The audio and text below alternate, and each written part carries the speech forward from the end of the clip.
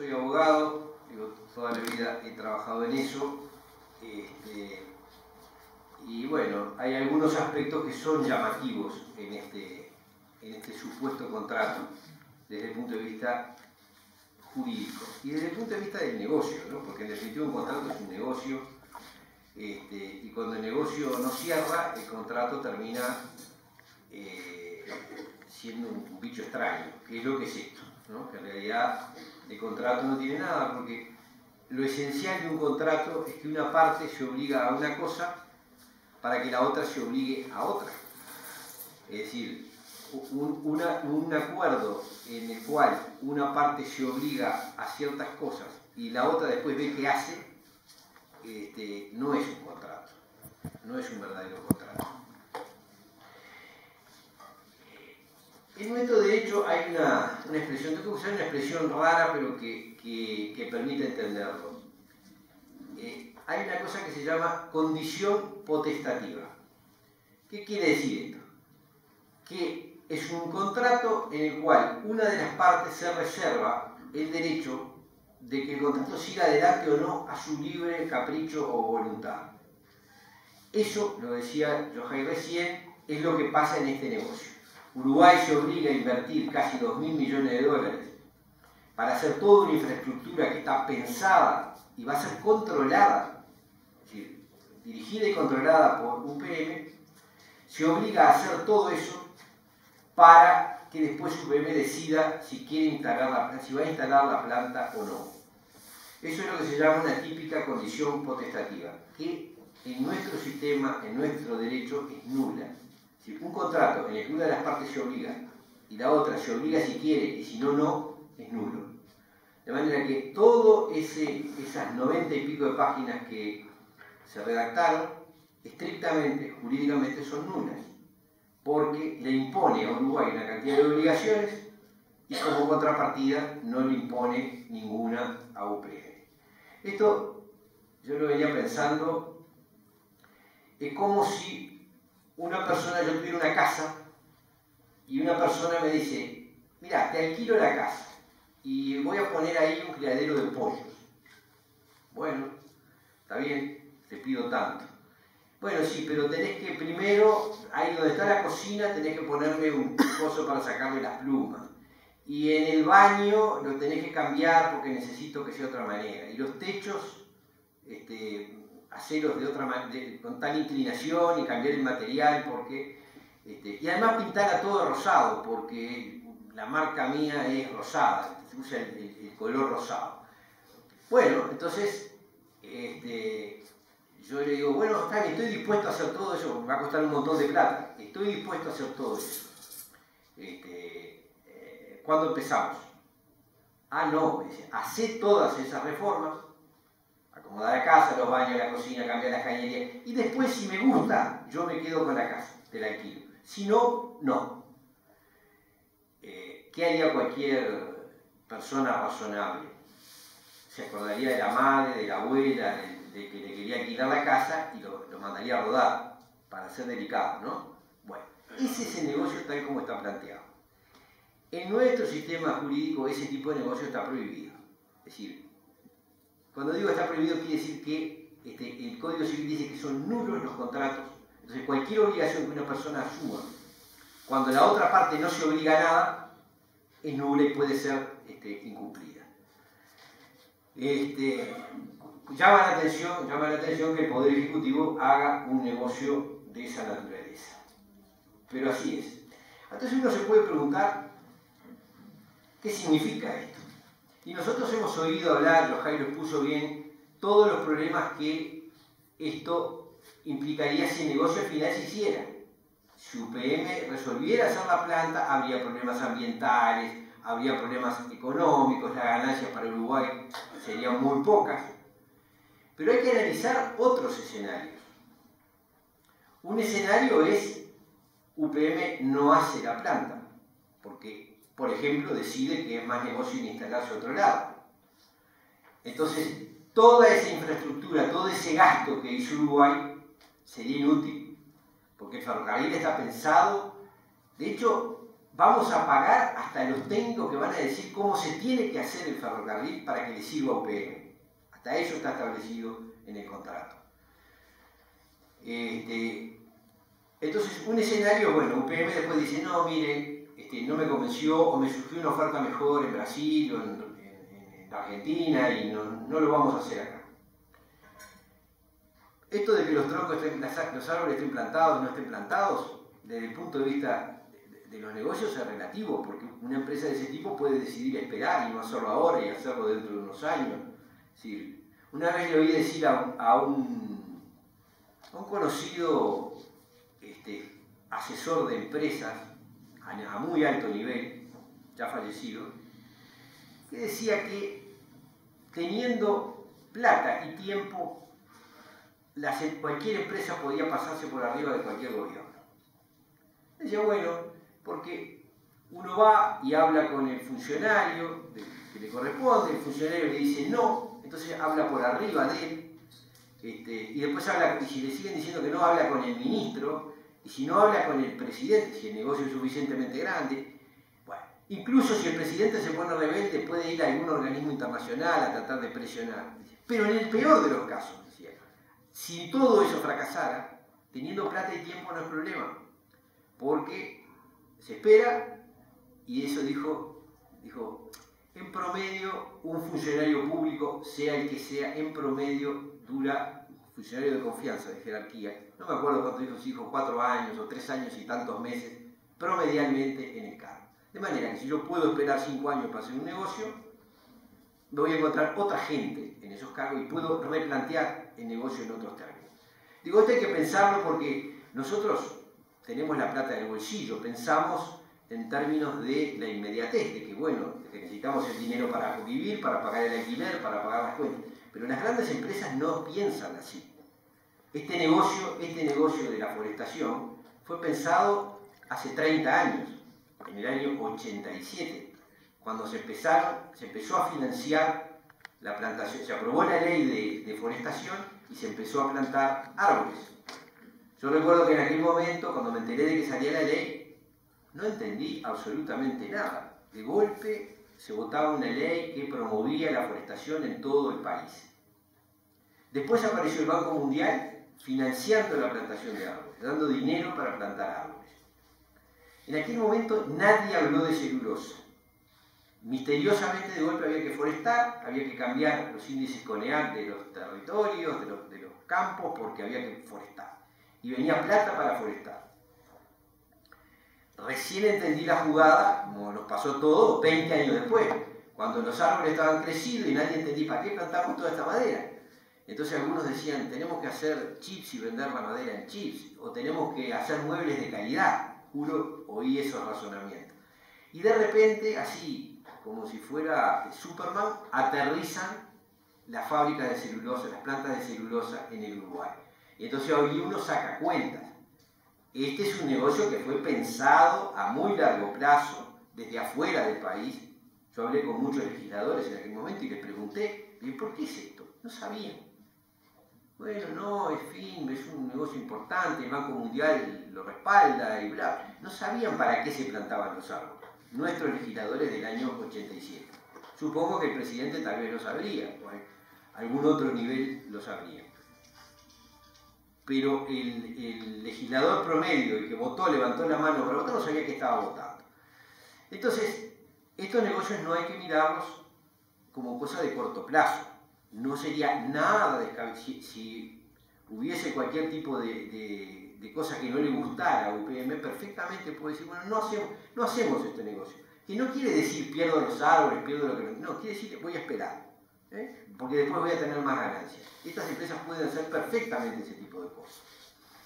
Entonces hay que tener presente eso, que este, las promesas que se hacen este, no, no necesariamente son seguras. Este negocio cuando a mí me lo dicen, no, ¿y cómo van a dejar de hacer este negocio si tienen los árboles plantados? Y decime, ¿no te das cuenta que los plantaron hace 30 años y esperaron hasta ahora tan tranquilos? No, no es, son otros los tiempos, otra la cabeza con la que se piensan estas cosas. Eh, pero hay un tercer escenario que a mí me parece el más probable.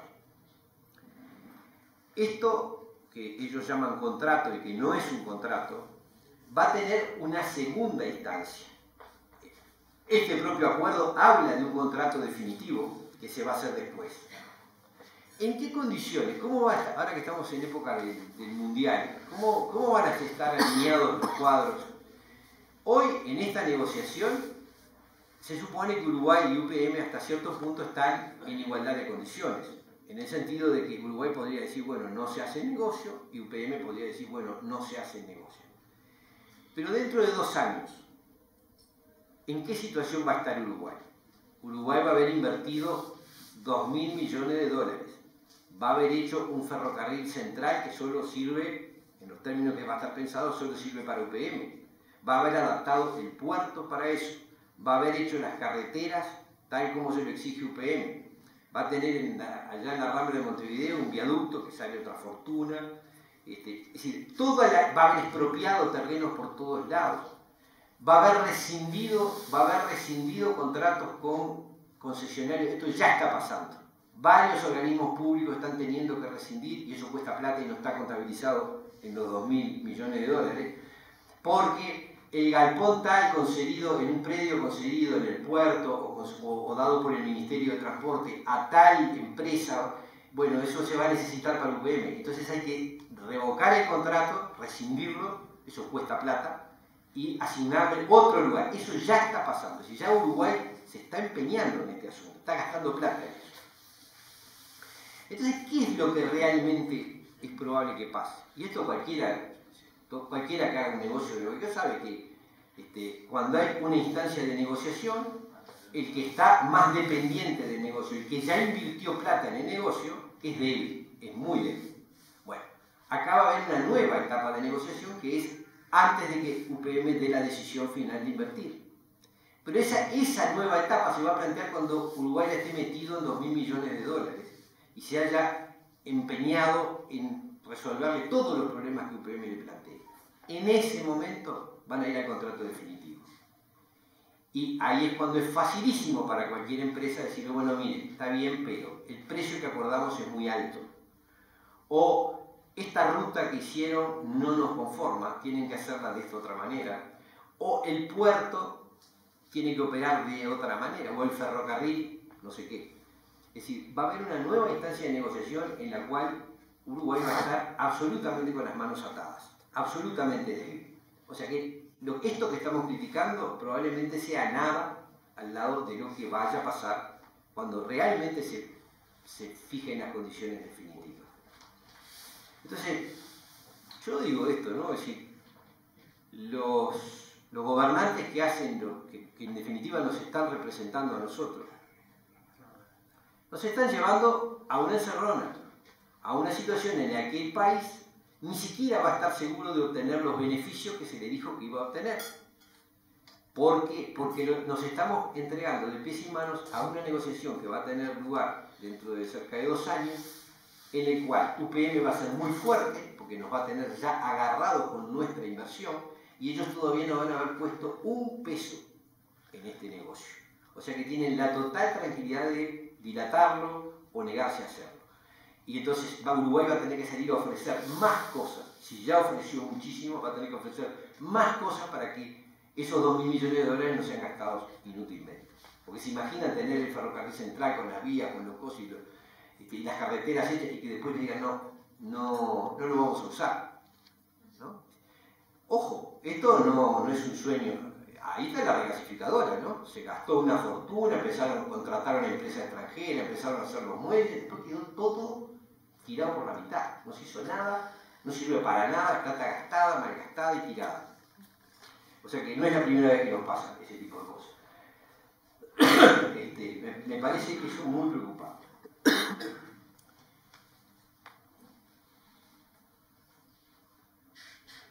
Eh, esto es lo que que ver con el negocio. Pero hoy Johai decía una cosa que es, la dignidad tiene un precio, ¿no? tiene un cierto valor. Y yo digo la verdad, cuando uno empieza a mirar ese acuerdo que hicieron con UPM, eh, no, hay por, no, se, sabe por dónde empezar a decir cuántas cosas están mal, cuántas cosas no se, no se podrían hacer en, un, en un sistema republicano, en un sistema donde la constitución tenga algún valor, donde los derechos de los demás tengan algún valor. Hay cosas que son hasta indignantes, ¿no? Por ejemplo, van a hacer ese ferrocarril que va a costar cerca de mil millones de dólares, pero resulta que el privilegio para usarlo lo tiene UPM. UPM puede decir, decir quién puede embarcar y quién no, porque en definitiva no se puede, no se puede usar eh, la vía en los horarios o en los momentos en que UPM este, tenga trenes circulando y piensan usar seis por día. O sea que, ¿quién va a poder, quién va a poder usar además de UPM esa vía? ¿Y qué va a pasar con esa vía si, si UPM no lo utiliza? Es, un, despropósito. Bueno, pero fuera de eso, hay una cosa que, que me parece que nos rompe los ojos. En nuestro sistema, en nuestro derecho administrativo, hay una cosa que se llama principio de especialidad.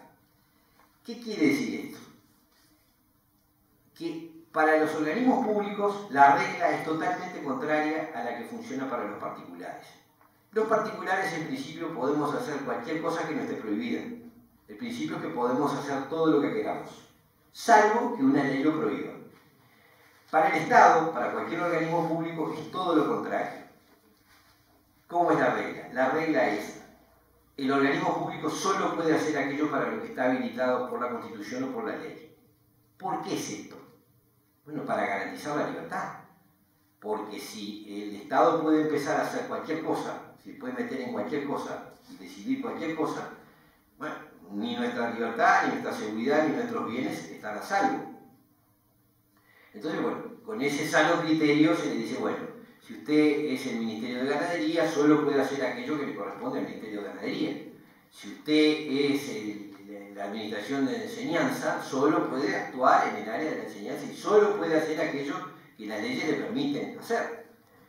Este, ustedes recordarán cuando hubo toda una discusión sobre si usted podía hacer el, famoso eh, escenario deportivo este donde estaba el cilindro. El Antel Arena que, para mí es tengo un sentimiento muy ambiguo, porque yo me crié, la mayor parte de mi infancia pasó y de mi juventud pasó a dos cuadras del cilindro, y verlo caer, este, pero eso es un tema que a uno lo toca, ¿no? Bueno, pero en definitiva, se le ¿qué se le cuestionaba a usted? Bueno, a Antel, perdón, a se le cuestionaba, esto no está entre los cometidos de Antel, hacer un escenario deportivo no está entre los cometidos de Antel.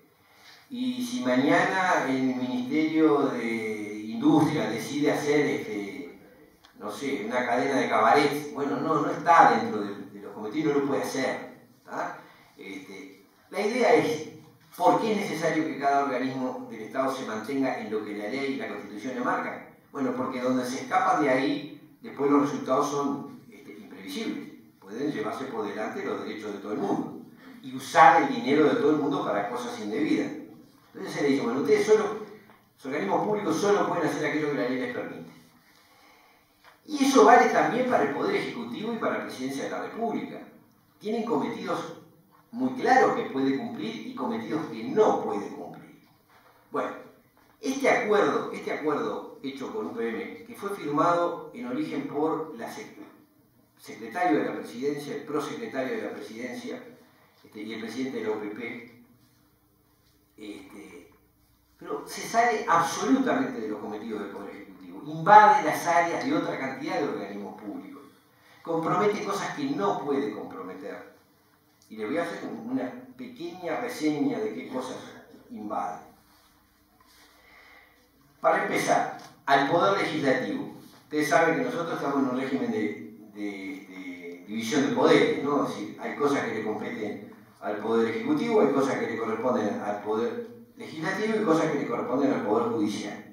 Bien, en este caso, el, Poder Ejecutivo toma una serie de decisiones eh, para empezar. No hay ninguna norma, ninguna norma que le habilite al Poder Ejecutivo a establecer contratos de esa magnitud con empresas extranjeras. Ni con nadie, ni, no, no puede hacer contratos de ese tipo, ni tratados, solo sin la aprobación del Poder Legislativo y mucho menos puede hacer negocios, contratos con particulares, sin la aprobación de nadie más. O sea, no se consulta al Poder Legislativo, no se. lo hace el Poder Ejecutivo por sí y ante sí. Cosa para la que no está habilitado, ninguna, ninguna ley, ninguna norma, ni constitucional ni legal lo habilita a hacer eso. Yo le voy a leer solo para que tengan claro, este, dice, el artículo 85 de la Constitución dice, a la Asamblea General, o sea, al Poder Legislativo, le compete, bien, entre muchas cosas, le compete, según el numeral séptimo, decretar la guerra y aprobar o reprobar por mayoría absoluta de votos del total de componentes de cada Cámara los tratados de paz, alianza, comercio y las convenciones o contratos de cualquier naturaleza que se establezcan con otras potencias o potencias extranjeras. Es decir, y esto aparece en 10.000 lugares de, nuestra Constitución, que cada vez que se trata de establecer acuerdos que comprometen al país frente al, extranjero, cualquier tratado, requiere que el Poder Legislativo lo apruebe, lo vote. Esto se hizo sin ninguna consulta a nadie, es decir, Poder Ejecutivo está actuando por su cuenta, estableciendo acuerdos que a ojo vista vemos que son perjudiciales y se hacen igual. Claro, cabe preguntarse también qué pasa con el Poder Legislativo, ¿no? Es decir, este, el Poder Legislativo tiene facultades para investigar, para y, citar a los ministros involucrados, para incluso para enjuiciar a los ministros si fuera necesario. Y acá hay una pasividad absoluta. Nadie, nadie le dice al Poder Ejecutivo, mire, usted está totalmente fuera de, fuera de su raya, se pasó totalmente. Nadie lo dice. Este, después, solo para ilustrar más, específicamente con el artículo 168 de la Constitución, cuando dice lo que sí puede hacer el, presidente, el Poder Ejecutivo, dice, al presidente de la República actuando con el ministro o ministros respectivos o con el Consejo de Ministros corresponde concluir y suscribir tratados, necesitando para ratificarlos la aprobación del Poder Legislativo. Todo, siempre, cada vez que el Poder Ejecutivo quiere hacer un negocio con el extranjero requiere la autorización, un acuerdo, un tratado con el extranjero requiere la autorización del, Poder Legislativo. ¿Quién lleva a pensar que este negocio se puede hacer sin ninguna consulta a ningún otro organismo? Bueno, es una, absoluta este, decisión de, pasar por arriba normas constitucionales muy claras, y que no están hechas por casualidad, están hechas justamente para evitar abusos, para evitar que un gobernante, por la razón que sea, este, embarque al país o en, un compromiso que, le hace daño, que no le conviene. Justamente para prevenir este tipo de cosas es que se exige que por lo menos el Poder Legislativo discuta y tenga que aprobar esto.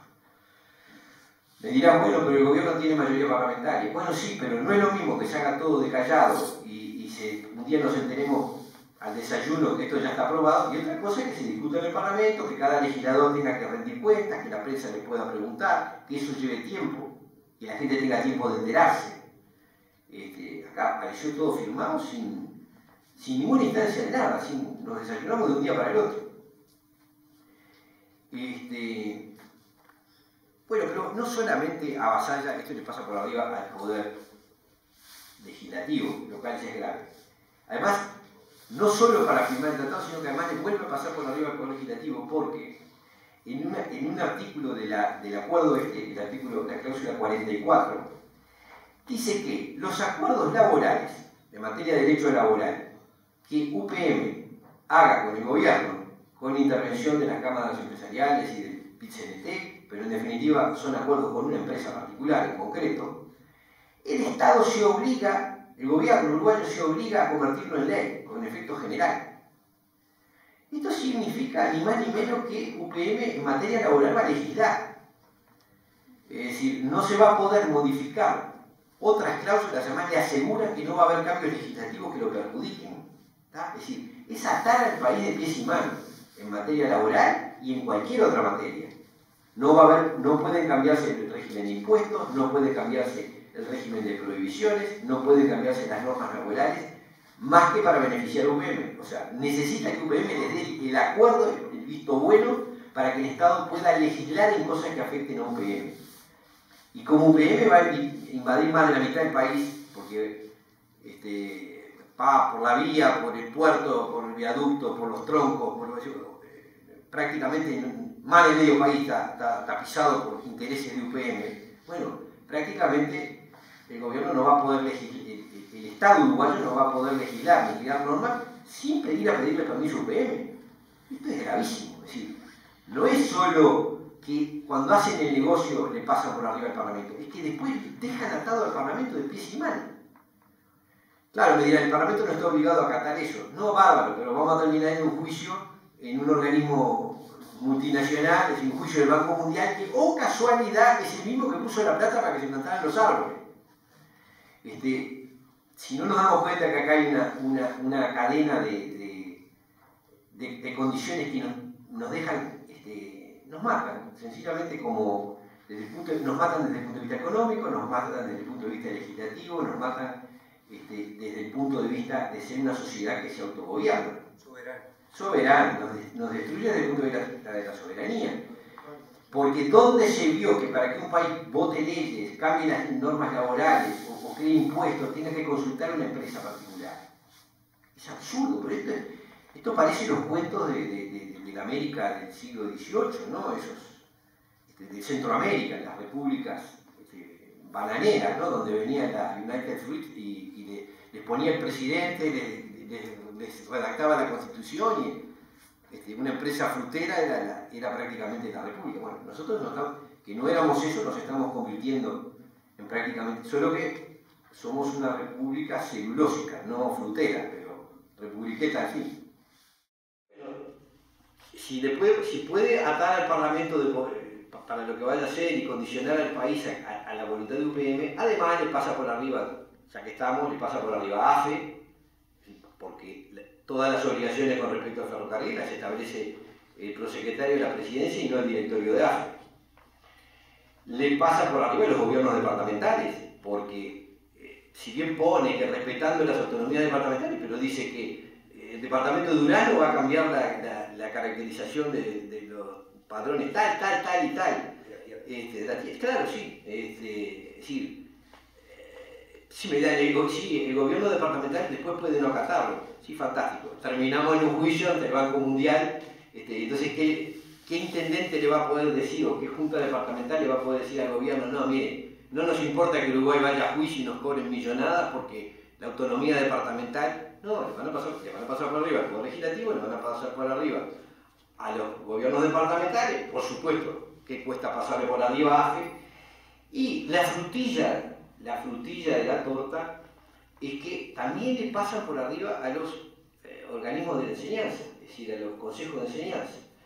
Porque los planes de estudio eh, técnico-profesional, los, programas de enseñanza técnico-profesional, tienen que ser sometidos de cuatro departamentos, tienen que ser sometidos a la decisión, cuatro es un decir, porque Montevideo también, es a tenor del contrato, es decir, las zonas de influencia de, bueno, afecta eh, bastante más de la mitad de la población del país.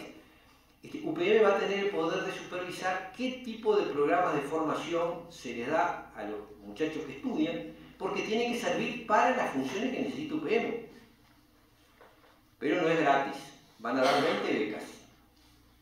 20 becas es lo que va a poner UPM. A cambio de eso, el Uruguay tiene que, antes de que ellos inviertan un peso, tiene que reformar los planes de estudio y, consultar a UPM a ver si está de acuerdo. Diciendo que además se obliga a tomar la visión de UPM, para redactar esos planes, a tomar la visión de UPM sobre el tema de la enseñanza.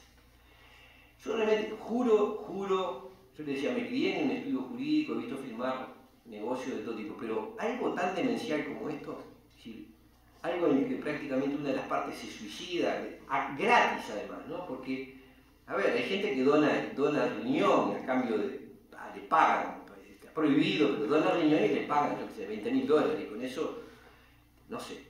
Bueno, acá no, acá donamos al riñón y si el otro quiere después, nos paga, si quiere. Y nos pagan mal y poco. Este, realmente digo, a mí esto me, causó un impacto terrible. el día que salió, este, agarré, ella ya tarde, ya yo tenía que escribir una, columna para, el semanario que escribo, y bueno, dije, voy a comentar esto, a ver qué. No sabía, como no sabíamos nadie, empecé a mirar y empecé a ver, pero ¿qué es esto?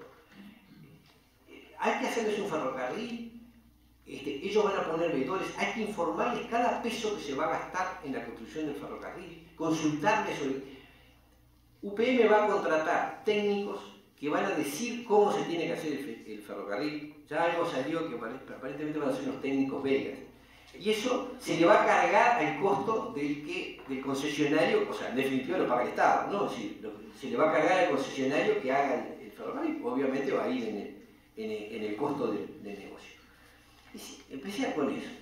Después empecé a ver las exoneraciones tributarias, porque lo que decía Johai es ahí hay todo un tema para estudiar, que eso es la ingeniería este, tributaria que hicieron y, jurídica por igual, son un montón de empresas. UPM no es una empresa, son un montón de empresas que negocian entre ellas, pasan todo exonerado de, tributos. Entonces, toda esa, a ver, ¿por qué no viene UPM y dice, bueno, yo soy dueña de los bosques, de, los montes, soy dueña del vía, soy dueño de, de los tritones, soy dueño... No, no, cada zona franca es una cosa, los montes son otra, el que explota la zona franca es otra, el que embarca para el ferrocarril es otra empresa, todas propiedad de UPM.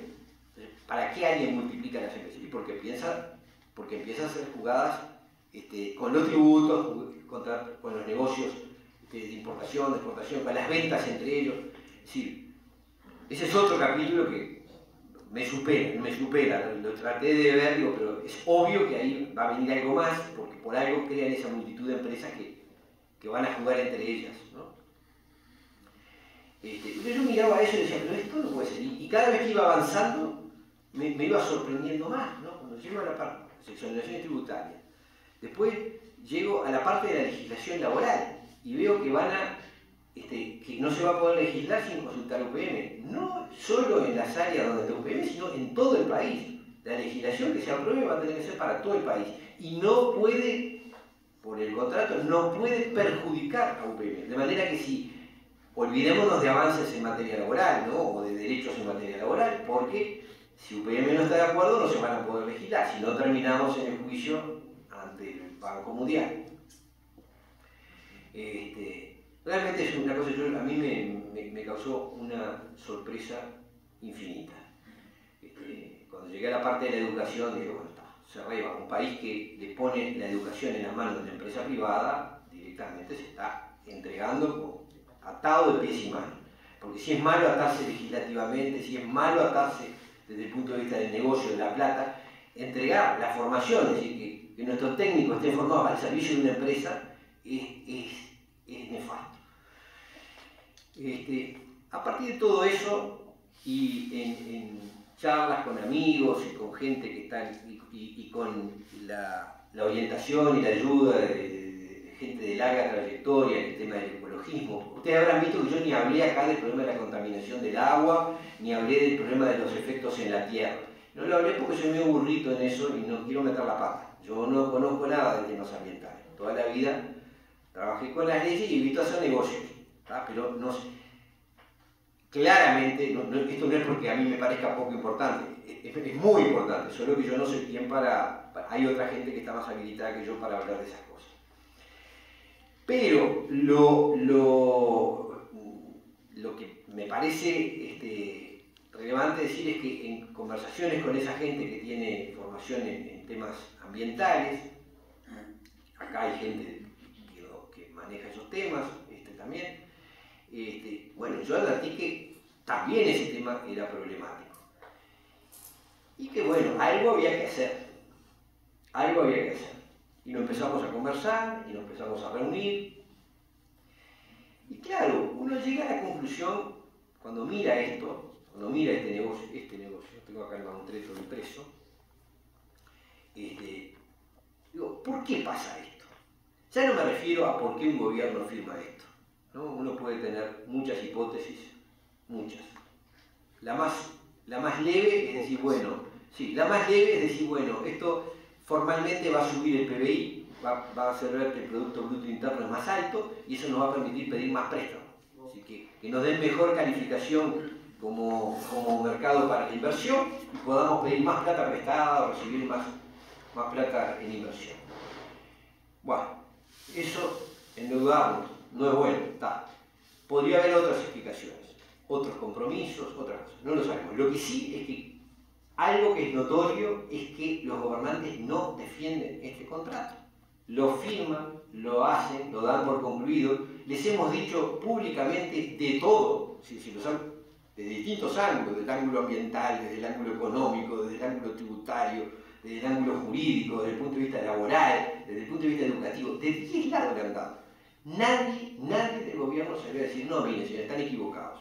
Este contrato se firma por esto y por lo otro y nuestros beneficios van a ser este y el otro. No salen a defenderlo. Sostienen cosas absurdas como que los puestos de trabajo. A ver, con 2.000 millones de dólares, ¿van a crear cuánto? ¿500 puestos de trabajo? ¿Cuántos millones de dólares se necesita para crear un, un puesto de trabajo? Es delirante. ¿Qué se podría hacer en el Uruguay en materia de fuente de trabajo con 2.000 millones de dólares? Infinidad de cosas. Entonces, el argumento de los puestos de trabajo es muy débil, porque si tuvieran buena, si realmente lo que les importara fuera crear fuentes de trabajo, bueno, usen esos 2.000 millones de dólares para abrir fuentes de trabajo genuinas, reales, y que la ganancia quede en el Uruguay, no que se la lleve una empresa que ni siquiera va a pagar impuestos. Yo creo que esto, para entender estos negocios, más allá de otras cosas más chicas que puede haber por abajo de la mesa, este, hay que entender que estamos en un mundo, no hay más remedio que cumplir que estamos en un mundo, que se llama la globalización, nos llegó, no, nos cayó de lleno en el Uruguay. ¿Y qué es esencialmente la globalización? Y desde el punto de vista económico es que eh, los intereses que dominan el mundo son intereses de empresas transnacionales. hoy las empresas son más poderosas que los estados. Ese es el para mí, se podrá decir maravilla, la cultura, todos comunicados y este, la aldea global, sí, pero cuando llegan las de a peso, ¿qué significa esto? Que antes las empresas tenían que venir a un país extranjero, pedir permiso, ser analizadas, pagar impuestos, someterse a las leyes. Bueno, eso fue, eso ya fue. Ahora son las empresas las que marcan las condiciones, las que le dicen a los estados, bueno, quiero venir, quiero que me haga esto, quiero que me haga lo otro, no me cobre lo de más allá. No.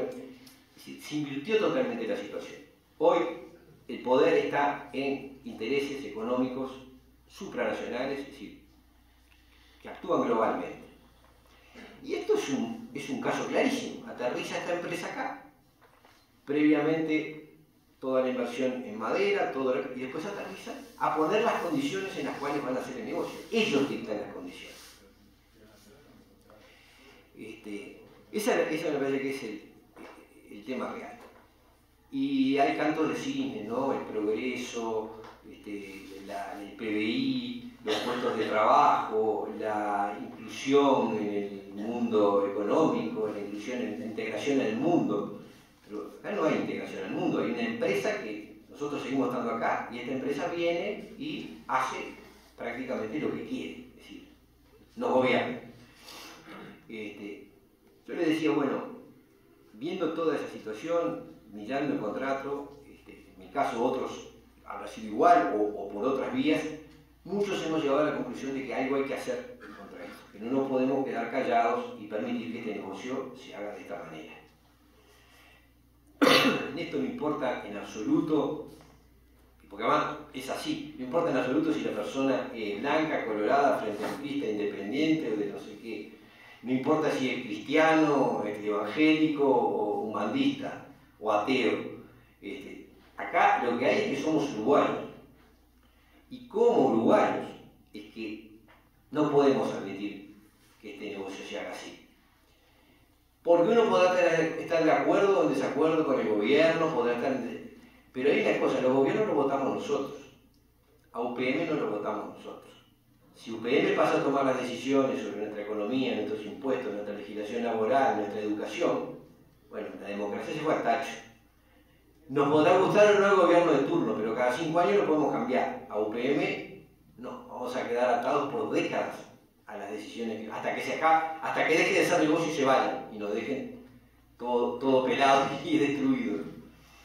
Bueno, decía, empezamos a conversar gente de distintos lados, de distintos palos, por felizmente gente de todos lados del país.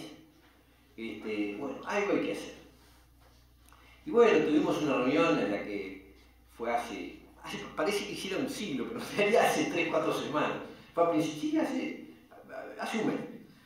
Este, en la que nos juntamos gente de varios lados, este, con experiencias muy distintas, nadie nos preguntó ni nos preguntamos qué votamos, qué creés, qué pensás, no importa. Este, el único punto común era que esto no, no es un negocio que Uruguay pueda hacer. Hasta las razones pueden ser distintas, porque a alguno le puede pesar mucho la contaminación del agua, al otro le puede dar mucha bronca este, que, que le, le, usen, el puerto como se le antoje, al otro que se le meta con la enseñanza, que no paguen impuestos. Distintas motivaciones. Y así es. Son muchas las cosas, los, los, problemas que este negocio tiene y muchas las, vías para llegar a la conclusión de que no hay que hacerlo. Y bueno, un poco decidimos encarar eh, qué podemos hacer como ciudadanos para que este negocio no se haga. Este, o, bueno, claro, quedaría la alternativa de modificar, Jairo decía, este contrato no nos ata nada, hasta que UPM tome la sagrada decisión de invertir, podríamos no, llevarlo a cabo, porque es nulo, es un contrato que no nos obliga. Este, pero bueno, lo cierto es que algo hay que hacer. Y decidimos arrancar con una serie de cosas, que va desde la difusión de información sobre estos problemas, este, la realización de actividades como esta, esta es una de ellas, digamos, de, dialogar, de, de, recorrer y de, así como vino gente del interior a Montevideo para esa reunión, bueno, vamos también a ir y a intercambiar opiniones de un lado al otro. Eh, y también eh, decidimos hacer una cosa eh, que puede parecer ingenua, pero que si me dan, traen un minuto, le explico y tal vez no sea tan ingenua. Nuestra constitución, esa que le van a pasar por arriba tan fuerte, tiene un artículo, dos artículos en realidad, que permiten que cualquier persona cualquier persona, cualquier habitante del país, se dirija a cualquier autoridad del país para plantearle cualquier problema que le parezca. Hacer la pregunta o la sugerencia o la exigencia que le parezca. Y el Estado, cualquier autoridad del país está obligada a contestarle. No tiene por qué decirle que sí, pero en realidad debe contestarle, darle las razones. Todo, todos eh, todas las decisiones de los organismos públicos en el Uruguay tienen que ser fundadas.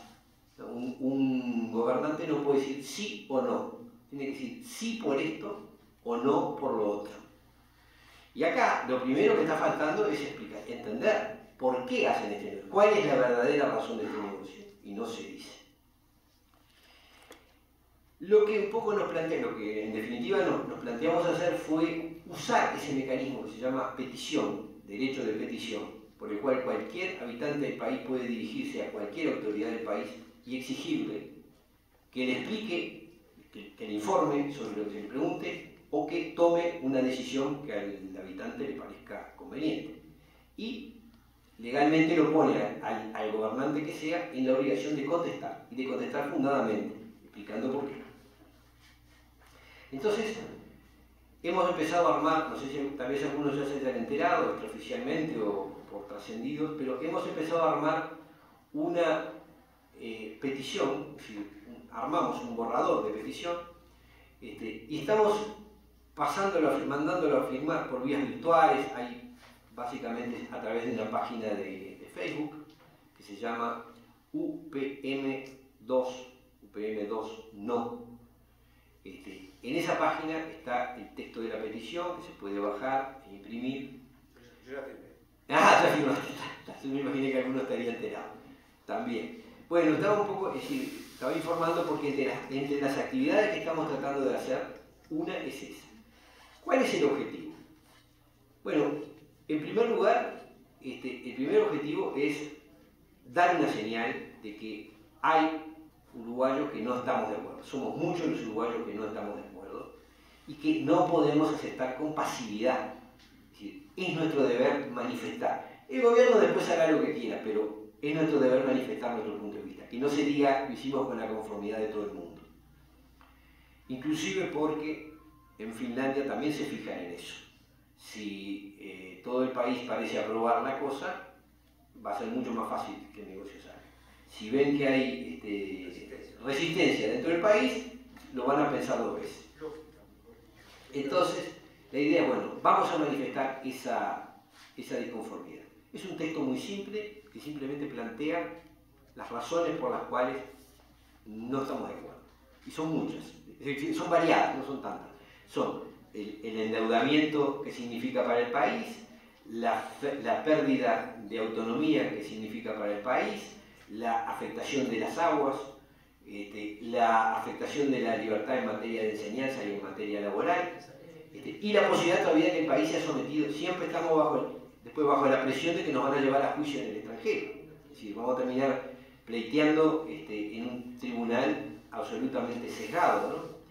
porque todos sabemos que el Banco Mundial este, ha, financiado incluso la forestación, o sea que evidentemente tiene conexiones con estas empresas eh, La idea es que esa petición, por un lado, manifieste nuestro rechazo, está abierta a la firma de cualquier persona, la puede firmar y nosotros la vamos a ir a presentar este, en, en presidencia. Lo que no tenemos bueno, veremos de hacerlo llegar, veremos de hacerlo llegar por el papel para que la puedan decir, ah, bueno, acá hay, acá hay algunos ejemplares ya impresos, que pueden después este.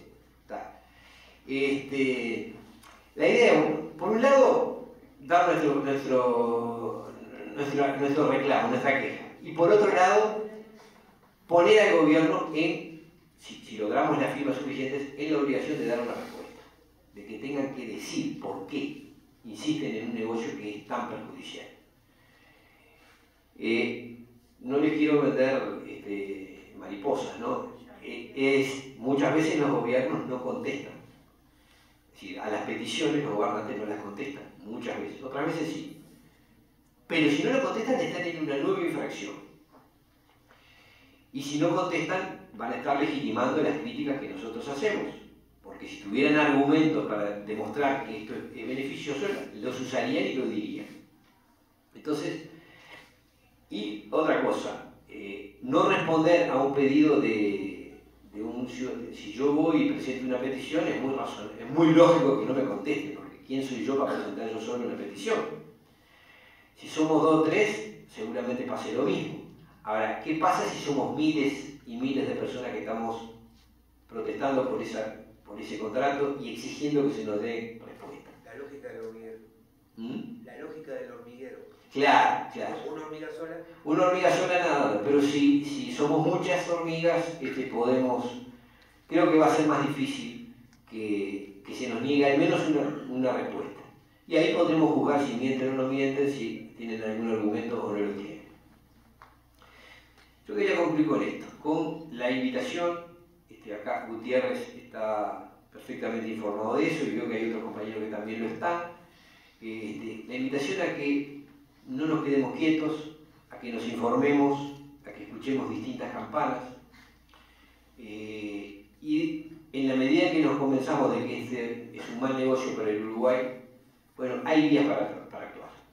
Existe la posibilidad de vincularse con, con esta red que estamos creando, existe la posibilidad de firmar la petición y de contribuir a, bueno, de alguna manera marcar al gobierno en este tema. Eh, reitero, para los que tengan Facebook, los invitamos a ingresar para que ustedes se formen sin ningún compromiso. Van, la leen, es una página pública abierta, se llama UPM2 No. UPM2 No. Es este, de acceso libre y ahí pueden informarse, ver este, incluso ahí hay mucha información que no tiene que ver directamente con la petición, sino con las otras actividades. Y la otra información, que todos los días hay compañeros con, con, formación, el caso de Chojai, por ejemplo, es uno de ellos, pero hay otros, este, que nos aportan datos nuevos, desde cómo están marchando las habilitaciones ambientales, una cosa bastante indignante, cómo están los índices de contaminación de las aguas, este, en fin, hay una serie de información que allí está. Los invitamos a que la, que la vean y tomen la decisión. Si se quieren incorporar al, grupo de Facebook, serán, van a ser muy bienvenidos. Yo, si ustedes, yo lo decía, yo lo reitero. Me encantaría si hubiese intervenciones, opiniones, preguntas, discusiones, si alguien no está de acuerdo, bienvenido sea porque acá la verdad revelada no la tiene nadie les agradezco la, la paciencia. Eh,